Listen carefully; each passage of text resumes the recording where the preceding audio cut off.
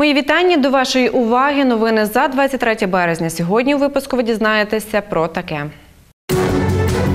Доля податкової міліції, ліквідація чи трансформація, медична реформа на Закарпатті, проблеми та їх вирішення. Тихий вбивця, тиждень туберкульозу на Закарпатті, відкриття нового закладу, інклюзивний центр у Тячеві. П'ять держав, членів ЄС, збираються вислати з країни російських дипломатів. Відтак Франція, Польща, Естонія, Латвія і Литва розглядають таку можливість у зв'язку з отруєнням у Великобританії колишнього російського розвідника Сергія Скрипаля. За даними влади Британії, його отруїли нервово-паралітичною речовиною новачок, яка розроблялася в СРСР. Напередодні у Брюсселі відбувся саміт ЄС. Прем'єр-міністр Великобританії Тереза Мей поклала відповідальність за інцидент саме на Москву. Уряд дійшов висновку. Дуже ймовірно, що Росія відповідальна за акти проти Сергія Скрипаля.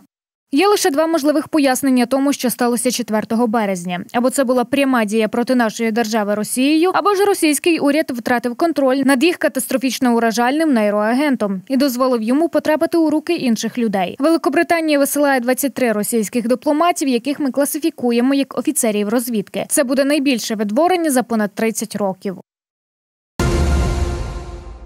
Не треба шукати ворогів децентралізації, треба спільно рухати реформу і переконувати тих, хто цього не хоче. Про це заявив перший заступник міністра регіонального розвитку, будівництва та ЖКГ В'ячеслав Негода під час шостого форуму місцевого самоврядування у Львові. З року в рік критиків реформи місцевого самоврядування усе менше, бо децентралізація показує реальні результати. Зростають місцеві бюджети, підвищується спроможність громад вирішувати більшість місцевих питань, створювати для мешканців якісні, доступні послуги, комфортне середовище для життя, наголошує В'ячеслав Негода. Але як у будь-якій реформі і на місцевому, і на центральному рівні є ті, хто не готовий до змін. Причини різні. Хто звик до старого, комусь невигідне нове. І нам потрібно не критикувати їх, а переконувати, що децентралізація єдиний вірний шлях до розвитку країни. Як відомо, є щонайменше 17 законопроєктів важливих для прискорення децентралізації, які очікують рішення парламенту. 22 березня два з цих законопроєктів стояли у порядку денному Верховної Ради, але наразі не були розглянуті. А далі ще одна новина, яку ми не могли уминути увагою у цьому випуску. Сьогодні партія Батьківщина на чолі з Юлією Тимошенко підписала з громадськими організаціями Всеукраїнська аграрна рада та Аграрний союз України меморандум про співпрацю проведення реформ у сільському господарстві. Сьогодні е, партія Батьківщина разом з двома потужними аграрними громадськими організаціями Всеукраїнською аграрною радою, яку представляє голова Андрій Дикун, і аграрний союз, яку представляє Геннадій Новіков, ми підписали створений. е, Написаний, пророблений саме середнім класом аграріїв меморандум щодо нового аграрного курсу е, України. Партія Батьківщина намагається зламати систему, яка просочена корупцією, вузьким лобізмом та нехтуванням інтересів аграріїв та селян. Тож ми вирішили об'єднати наші зусилля та сформувати новий аграрний курс, зазначається в меморандумі. Підписаний документ закріплює напрямки розвитку аграрно-промислового комплексу, де сторони зобов'язуються спільно захищати як позиції аграріїв, так і інтереси сільського населення. Батьківщина, Всеукраїнська аграрна рада та Аграрний союз України вбачають результатом провадження реформ зростання аграрного виробництва і до зайнятості на селі, збільшення інвестицій в сільське господарство та надходжень до місцевих бюджетів. Наша з вами стратегія в тому, щоб крок за кроком поступово припинити торгувати сировиною, і держава зобов'язана направити всі ресурси, всі можливості, всі системи підтримки для того, щоб ми, наприклад, як Італія, продавали виключно готовий продукт, тільки продукти харчування. І це означає, що ми можемо мінімум в 10 разів збільшити доходи на зовнішніх ринках від реалізації готової продукції аграрного комплексу. Ми мусимо відкрити всі шлюзи для потужного всеохоплюючого кредитування аграрного сектору для розвитку і виробництва сировини, і переробки аграрної продукції, і для розвитку кооперативів, які мусять стати основною системою обробки і реалізації нашої продукції. За словами Юлії Тимошенко, меморандум Новий аграрний курс України це покроковий план дій, який може зробити успішним та заможним аграрний комплекс, а це також зробить сильною та процвітаючою нашу країну. Якщо зараз ми отримуємо 18 мільярдів євро від реалізації аграрної продукції за межами України, то наше завдання зробити потужну, всеохоплюючу переробку аграрної сировини і довести мінімум до 180 мільярдів євро обсяг е, нашого експорту аграрної продукції і стати однією з найсильніших аграрних країн європейського континенту. Нам треба об'єднатись навколо цього нового аграрного курсу України, оскільки саме аграрії можуть дати економічну успішність, наголосила Юлія Тимошенко. А наше завдання і завдання нового е, аграрного курсу України це повернути аграріїв на сільськогосподарську землю і створити їм всеохоплюючі умови сприяння, підтримки, розвитку і все, що може зробити корисного держави для аграріїв.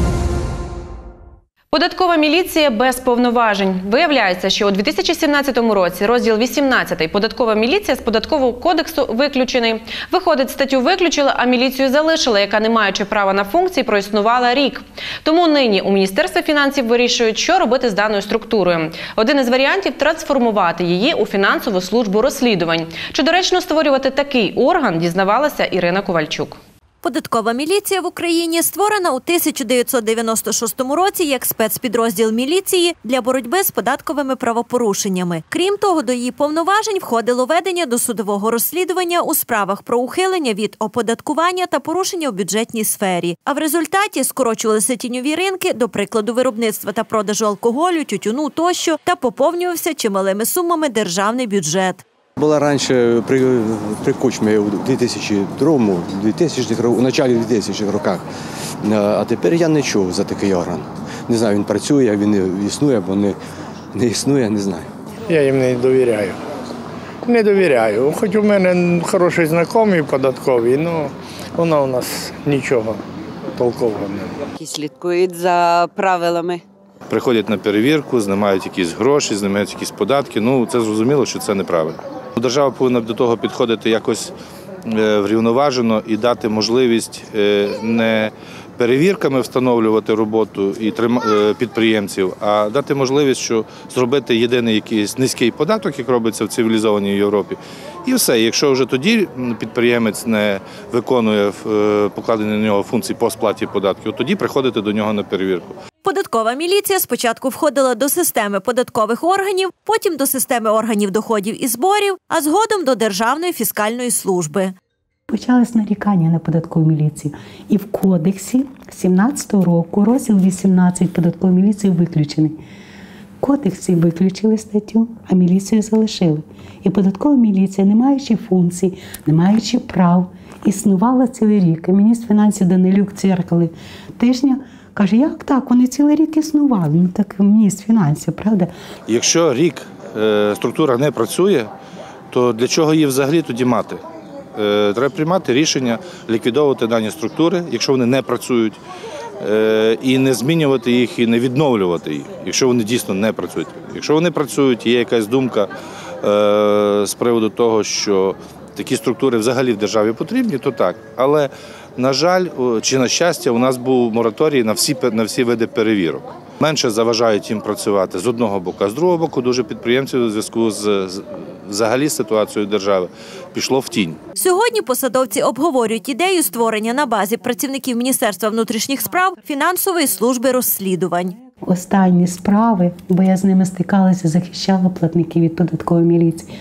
Мені не дуже це вдавалось, бо ну як прийшли, забрали комп'ютери, сервера, документи і рік нема.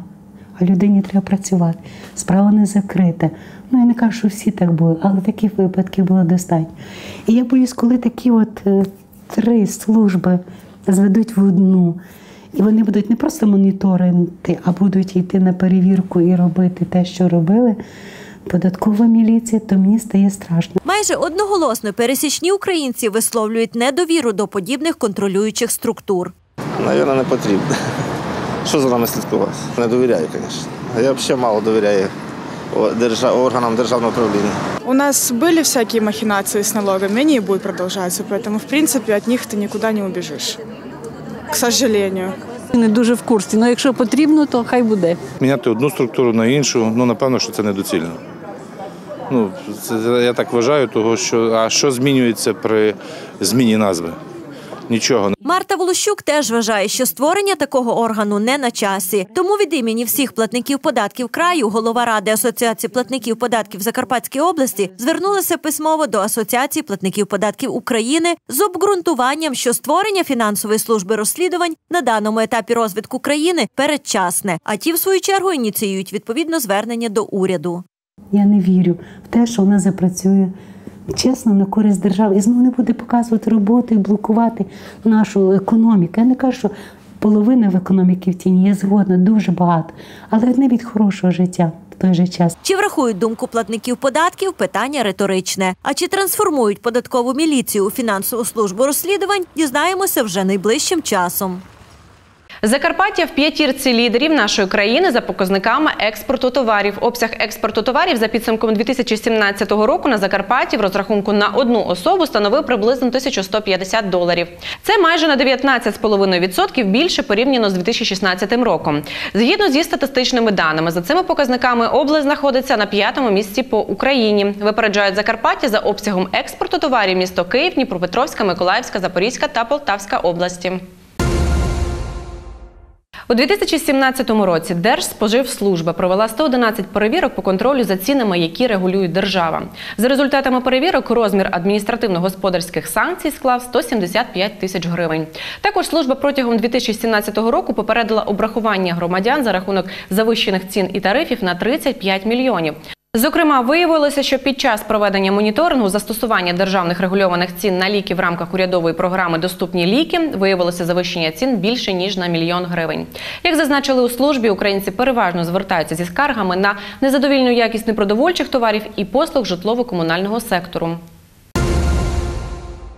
В Закарпатті місцеві ради зможуть обмежувати продаж алкоголю вночі. Верховна Рада України ухвалила закон, який надає право органам місцевого самоврядування встановлювати заборону на продаж алкогольних напоїв у нічний час, а також дозволяє штрафувати торговельні заклади в зв'язку з порушенням правил продажу алкоголю. За ухвалення закону проголосували 230 народних депутатів при необхідному мінімумі в 226 голосів.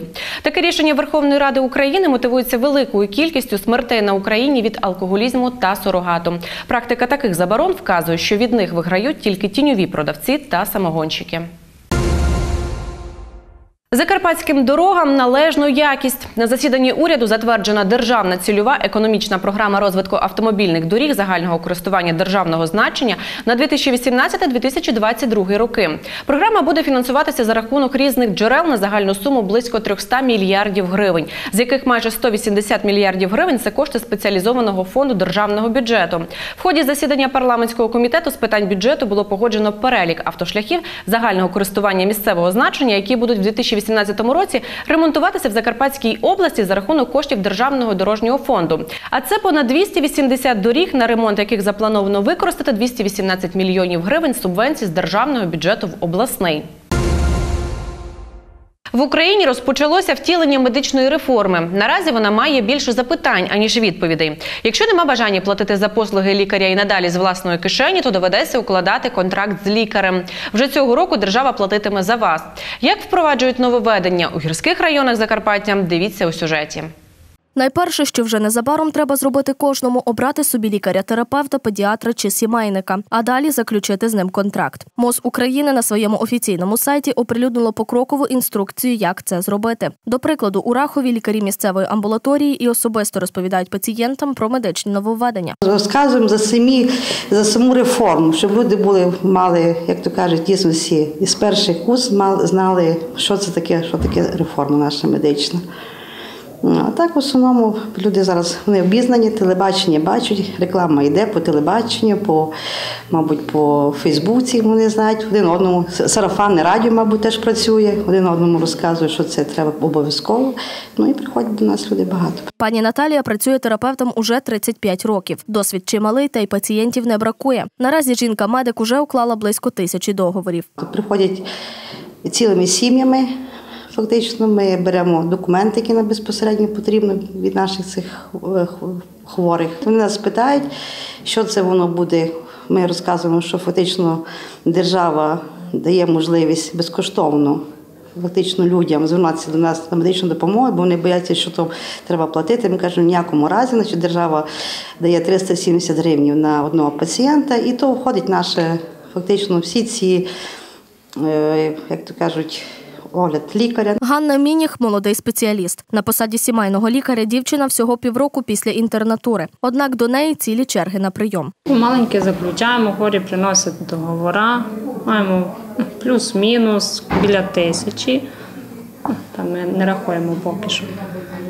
Хворі підносять нормально. Пояснюємо, що ми- буде діяти медична реформа, всі дані вносяться в комп'ютери, буде вестися нагляд за цим. До слова, пристосуватися до нововведень у медицині первинної ланки доведеться кожному. На все відведено 4 місяці. До 1 липня потрібно встигнути заключити контракт з обраним лікарем. Мати при собі необхідно паспорт і код. Якщо мова про дитину, то її свідоцтво про народження та документи одного з батьків чи опікуна. І ще слід пам'ятати, що відмовити лікар може вам лише у тому випадку, якщо з ним заключили угоди вже 2000 пацієнтів. Ще не заключив, бо е, проблем не було звертатися до лікаря. Сьогодні є така проблема, то напевне ми знаємо е, засобів масової інформації про цю медичну реформу. Так що будемо діяти так, як розписано. Нічого я не чую, бо я телевізор се не дивлю, бо очі, очі слабі, а синте. Так я не знаю, не знаю я синте, нічого не чула такого, та й не знаю, що вам казати. Просто прийшла рішити, заключити. А які документи треба для того, щоб заключити? Ще навіть не знаю. Не знаю. Прийшла просто знати. Далеко не всі в захваті від медичної реформи загалом. Кажуть, що є нюанси і окремі недопрацювання. Погоджуються, що цілком можливо вони з часом зникнуть. Однак наразі, хоч медична реформа в Україні і діє, та має вона більше запитань аніж відповідей. В частині медичної реформи дуже багато знаків питань. В більшій частині медичні працівники з острахом очікують, що їх чекає, бо до кінця ситуацію ніхто не знає. Е, Реформа започаткована, реформа почала здійснюватися. Зрозуміло, що є багато невирішених питань. І вони будуть вирішуватися по ходу реалізації цієї реформи. Дуже сподіваюся, що ця реформа буде успішною. Нам треба допомога, нам треба е, обладнання, і тоді може щось трошки буде. Амбулаторія Рахова технічно не забезпечена, а облік пацієнтів повинен вестися електронний. Та і основний спосіб заповнення декларації між лікарем і пацієнтом теж має бути в електронному варіанті. Для кожного лікаря фактично би треба комп'ютер немає. Не маємо принтер і один комп'ютер. Ми просили мера. Я думаю, що він поможе. І тоді, е, коли мова йде за облаштування робочого місця, за закупівлю транспорту, за закупівлю необхідного медичного обладнання, ці речі зрозумілі в селах, як вони будуть фінансуватися. В селищах це питання і в місті питання відкрите. Тому ми знаходимо шляхи вирішення даного питання. Це будуть кошти або районного бюджету, або кошти міського бюджету для підтримки закладів охорони здоров'я, які розташовані в місті, ну і в селищах відповідно. В Україні проходить тиждень боротьби із захворюванням на туберкульоз. Мета привернути увагу громадськості до проблеми поширення туберкульозу, адже Україна перебуває серед світових лідерів за поширенням цієї хвороби. Яка ситуація, зокрема, на Закарпатті? Дивіться у нашому сюжеті. Ситуація з туберкульозом на Закарпатті напружена. Однак жителі області протягом останніх років хворіти на цей недух стали менше. У 2017 році спостерігається зниження на 3% у порівнянні з минулим роком. Е, Мене радує те, що разом із зниженням захворюваності незначним 3%, у нас знижується і смертність від туберкульозу. Ми досягли показника 10,2 на 100 тисяч населення. Разом з тим і зниження первинного виходу на інвалідність. Отже, епідемічна ситуація має покращення. Однак позитивна динаміка спостерігається серед дорослого населення, чого не скажеш про дітей. Лікарі кажуть, це зумовлено тривалою відсутністю препаратів для щеплення. У 2017 році, наприклад, серед усіх захворівших дітей у нас біля 70% були діти до віком до 3 років, і жодна з них не мала вакцину БЦЖ. Звичайно, над цим працювала, працювала як і держава, працювали ми в Закарпатській області. Всі діти, які не вакциновані, вони були включені у групу ризику. Всі діти, які не вакциновані, починаючи з 6-місячного віку, були обстежені на туберкульоз за допомогою е, реакції манту. Ті діти, які вже інфіковані, вони отримують спецпрофілактику. Між тим, Закарпатська область єдина, де на обласному рівні діє програма протидії з туберкульозом. І хоч програма фінансується тільки на 30%, додаткові кошти теж надходять. Це дозволяє фтезіатрам забезпечити заклади необхідним. Відтак лікарі констатують, забезпечені всім необхідним як для лікування, так і для профілактики недугу. Сьогодні наші хворі 100% уже на протязі декількох останніх років 100% забезпечені всіми видами медичних препаратів. Починаючи від специфічних антимікробактеріальних препаратів першого і другого ряду, це препарати супроводу і інші е, вироби медичного призначення. В нашому закладі все безкоштовно і в достатній кількості. Медики кажуть, туберкульоз хвороба медико-соціальна і від медичної частини залежить не більше ніж на 10%. Решта від того, у яких побутових умовах живе хворий, як харчується та де працює. Ну і власне основним методом профілактики є щеплення. Специфічна профілактика, звичайно, це є вакцина БЦЖ, від якої абсолютно не потрібно відмовлятися. Вона проводиться на третьому дні у пологовому будинку. І тепер, коли є ця вакцина, то її треба робити. Профілактика, коли вже дитина е, була в контакті із хворим на туберкульоз, Е, це ця профілактика призначається обов'язково після повного обстеження дитини у фтизіатра, і це є вже медикаментозна профілактика. Звичайно, під покращення імунітету дитини, покращення умов життя серед яких проживає дитина. У Тячеві відбулося відкриття інклюзивно-ресурсного центру. Відтепер діти з особливими потребами зможуть отримувати освітні послуги саме там. Працюватимуть із ними досвідчені фахівці. Як відбуватиметься процес навчання в особливому закладі, знає моя колега Олександра Балох, тому детальніше у наступному сюжеті. Ще в середині лютого, під час візиту дружини президента Марини Порошенко на Закарпаття, вона разом із головою Закарпатської ОДА підписала меморандум про приєднання регіону до національного проекту благодійного фонду Порошенка Інклюзивна освіта, рівень свідомості нації. Тоді з представниками місцевого самоврядування й обговорили створення мережі інклюзивно-ресурсних центрів. Один із таких учора, 23 березня, відкрили у Тячеві. У нашому районі організовано інклюзивну форму навчання у восьмох закладах ЗНЗ, де навчається 10 дітей з особливими освітніми потребами. А 102 дітей е, є в реєстрі дітей з особливими освітніми потребами, тобто діти, які навчаються на індивідуальній формі навчання. Е, У Калинівському ДНЗ функціонує група е, інклюзивного навчання, е, де навчається 5 дошкільнят. У центрі досвідчені фахівці проводитимуть корекційно-розвиткові заняття з дітьми з особливими освітніми потребами від 2 до 18 років. 8 лютого 2018 року оголошено в районній газеті Дружба оголошено конкурс на заміщення вакантних посад е, вчителя лікувальної фізкультури, е, практичного психолога, логопеда, дефектолога. Щоправда, за словами директора центру, кадрів поки не вистачає. Наразі е, з фахівцями є брак вчителів-дефектологів, е, є брак логопедів. У- В кінці травня плануємо ще раз оголосити конкурс. Однак, за словами голови Тячівської РДА, усі проблемні питання вирішать найближчим часом. Сьогодні стратегія, скажімо, в державі, щоб дітки з особливими потребами, з вадами різними, вони е, більш були пристосовані до суспільства. До слова, інклюзивно-ресурсні центри повинні функціонувати у кожному районі області. Положення про центр вимагає, що центрів має бути на 7 тисяч дітей один центр. Однак дітей з особливими освітніми потребами в області набагато більше. Відповідно, це вимагає відкриття більшої кількості інклюзивно-ресурсних центрів. Бо якщо в Закарпатській області понад 160 тисяч дітей шкільного віку, і плюс 50 тисяч, котрі перебувають у закладах дошкільної освіти, то ця кількість зобов'язує нам відкрити багато центрів. Але навіть та кількість, яка стала першим кроком 18 інклюзивно-ресурсних центрів, це вже є перший поштовх і напрям до позитивного вирішення зазначеної проблеми. Також Ганна Собкова зазначила, нещодавно область отримала фінансову допомогу від центральних органів влади. Усі 18 центрів області отримують понад 250 тисяч гривень для оснащення. Крім того, кажуть, гроші ходять за дитиною. У даному випадку також усі діти з особливими освітніми потребами, кожен районний центр отримав належну суму коштів для надання якісних освітніх послуг. Перший інклюзивно-ресурсний центр минулого місяця відкрили в Ужгороді. Тоді з візитом на Закарпаття приїжджала Марина Порошенко. А найближчим часом, за словами Ганни Собкової, такі центри відкриють у кожному районі Закарпаття.